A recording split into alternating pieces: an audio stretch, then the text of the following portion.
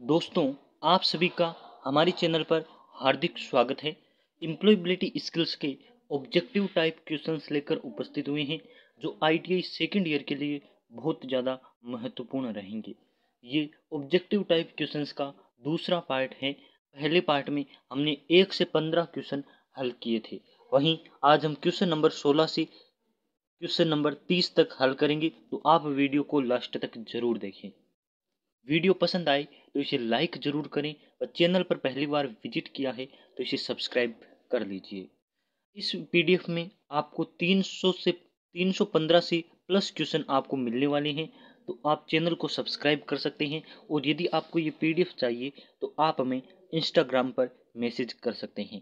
Instagram पर आपको search करना है जे के आई टी आई मंत्रा और आप इसे मैसेज करके ले सकते हैं। 315 प्लस क्वेश्चंस का ये पीडीएफ मिलने वाला है। साथ ही इसमें सभी जो आपके सेकेंड ईयर का सिलेबस है, वो कवर किया गया है।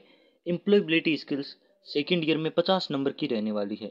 यदि हम ट्रेड थ्योरी के बाद किसी सब्जेक्ट की बात करें तो वह एम्प्लॉयबिलिटी स्किल्स ही है जो सबसे ज़्यादा नंबर की रहेगी। तो चलिए शुरू करते हैं आज की हमारी क्वेश्चंस। क्वेश्चन नंबर 16 है, यदि आपसे अपने पड़ोस में पाए जाने वाले स्थानों की सूची बनाने को कहा जाए तो आप इसमें क्या क्या सम्मिलित करेंगे? तो ये, आप जैसे कि ऑप्शन देख रहे हैं ऑप्शन नंबर डी सही आंसर है। अस्पताल स्कूल और मंदिर आपके पड़ोस के स्थानों में शामिल हो सकते हैं। अगले क्वेश्चन की बात कर देते हैं। क्वेश्चन नंबर सत्रह हमारे पड़ोस में एक फूलों का बगीचा है तो सुंदर फूलों का बगीचा है। ये ऑप्शन के अकॉर्डिंग आप इसमें सेलेक्ट कर सकते हैं। अगले क्वेश्चन की बात कर देते हैं। क्वेश्चन नंबर अठारह। एक आदर्श पड़ोस को पर्यावरण की आवश्यकता है। किस प्रकार के पर्यावरण की आवश्यकता है? खुशहाल, सुरक्षित और स्वच्छ। तो यहाँ ऑप्शन गलत दे रखा है। ऑप्शन नंबर डी यहाँ सही आंसर है।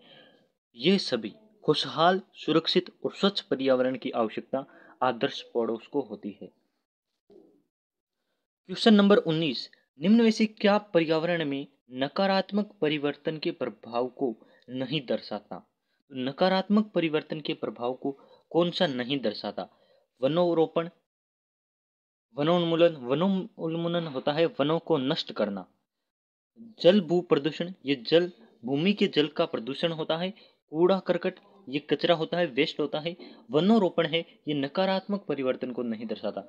ये एक सकारात्मक परिवर्तन है। हमें वनोरोपण करना चाहिए। यानी कि वन वृक्ष लगाने चाहिए और वनों को बचाना चाहिए, वनोरोपण कहलाता है। यहाँ ऑप्शन नंबर ए सही आंसर है। क्वेश्चन नंबर बीस, अपने कार्यालय में कार्य करने के लिए प्रिंटर में कागज़ का प्रयोग किया जाता है। कौन से कागज़ का प्रयोग किया जाता है? नई, नवीनीकरण, साफ़। अपने कार्यालय में कार्य करने के लिए प्रिंटर में कागज़ का प्रयोग किया जा सकता है। तो कौन से कागज़ का प्रयोग किया जा सकता है? नए कागज़ का प्रिंटर में, साफ़ का, पुनर्नवीनीकरण या फिर इनमें से कोई नहीं। तो यहाँ ऑप्शन नंबर डी सही दे रखा है, लेकिन हमें नए कागज़ का प्रयोग करना चाहिए। प्रिंटर में नए कागज़ का प्रयोग करते हैं। अगला क्वेश्चन है, निम्न में से किसके प्रयोग द्वारा पर्यावरण को स्वच्छ एवं हरा भरा रखा जा सकता है? तो पर्यावरण को किसके द्वारा हरा भरा रखा जा सकता है? कम ऊर्जा उपयोग करके भी हम पर्यावरण को हरा भरा रख सकते हैं।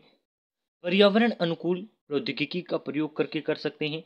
वन्य जीवों की रक्षा करके, यानी कि ऑप्शन नंबर डी यहाँ सही आंसर है। हम इन सभी कारणों से पर्यावरण को स्वच्छ व हरा भरा रख सकते हैं। अगला क्वेश्चन है, बिजली बचाना समय की मांग है। हम बिजली बचा सकते हैं। किस प्रकार से हम बिजली को बचा सकते हैं? सर्दियों में हीटर का प्रयोग करके। प्रतिदिन इलेक्ट्रॉनिक उपकरणों का अधिक प्रयोग करके इलेक्ट्रॉनिक उपकरणों को स्टैंड बॉय मोड पर छोड़कर एलईडी का प्रयोग करके। तो ऑप्शन नंबर डी यहाँ सही आंसर है। एलईडी का प्रयोग करके हम बिजली की को बचा सकते हैं और इन तरीकों से हम बिजली का दुरुपयोग करते हैं। क्वेश्चन नंबर तेईस, कचरे के उचित निस्तारण एवं पुनर्चक्रण के लिए आवश्यक है। निष्कासन, संरक्षण व स्थानांतरण। इन चारों ऑप्शन में से ऑप्शन नंबर ए यहाँ सही आंसर है। पृथककरण करके कचरे के उचित निस्तारण व पुनर्चक्रण के लिए आवश्यक पृथककरण होता है। कचरे को अलग अलग ग्रुपों में बांटा जाना चाहिए। कौन सा ग्रुप रसोई का कचरा, ये रासायनिक कचरा, इस प्रकार से कचरे को अलग अलग भागों में हम पृथककृत करके उसका निस्तारण कर सकते हैं, उनका, उसका पुनर्चक्रण भी कर सकते हैं। क्वेश्चन नंबर चौबीस। निम्न में से कौन सा जैव निम्नीकरण अपशिष्ट है? जैव निम्नीकरण अपशिष्ट कौन सा है?